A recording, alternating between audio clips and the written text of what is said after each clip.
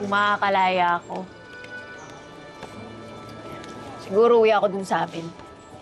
Alagaan ko si Lola para naman makabawi ako sa kanya.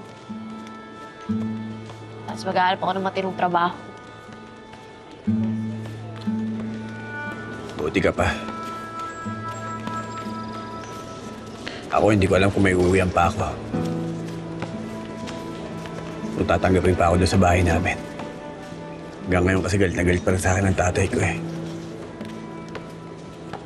At malamang ipagtatabuyan ako nun kapag nakita ako. Ah, hirap kasi no? Ang hirap pag naging naging tarantado ka. Parang wala na tayong pagkakataon para magbago. Hindi ko nga alam eh.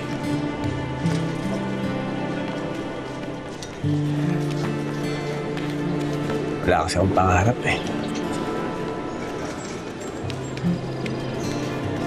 Dati,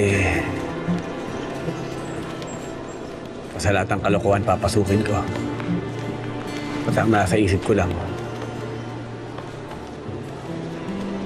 si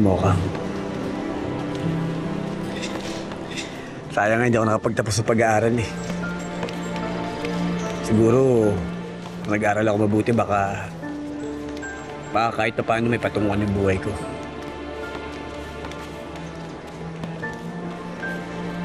Ikaw ba? Nakapag-aaral ka ba?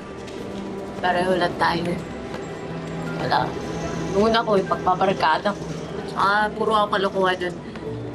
Ito yung nangyari sa akin.